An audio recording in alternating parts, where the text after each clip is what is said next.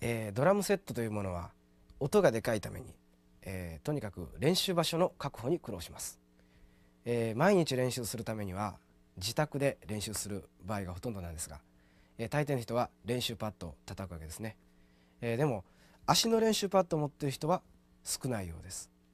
えー、そういう方は必ず足の練習パッドとハイハットをですねあの何らかの形で消音して使うといいと思います、えー、それでですね、えー、さらに暇を見つけては自宅じゃないところでも練習できるセットなしでもできる練習方法というのをやってみましょう、えー、まず16分音符やってみます、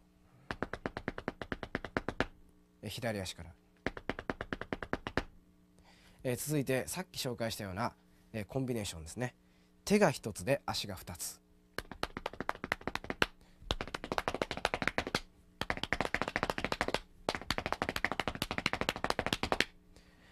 えー、手が2つで足が2つ。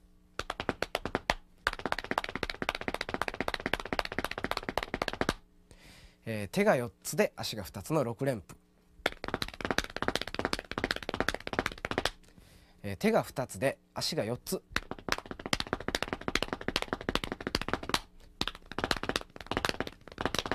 まあこういったバリエーションを。まあ電車の中でやってると。白眼視されるのは言うまでもありません。